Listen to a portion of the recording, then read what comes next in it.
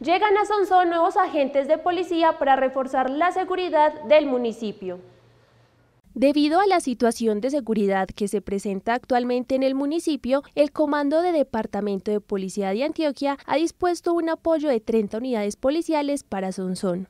¿Para qué? Para realizar diferentes planes preventivos para mejorar, eh, entre, entre varias cosas, la percepción de seguridad y para dar respuesta al llamado de la comunidad en cuanto a la necesidad de sentirse más a gusto en cuanto a su convivencia y seguridad en el municipio.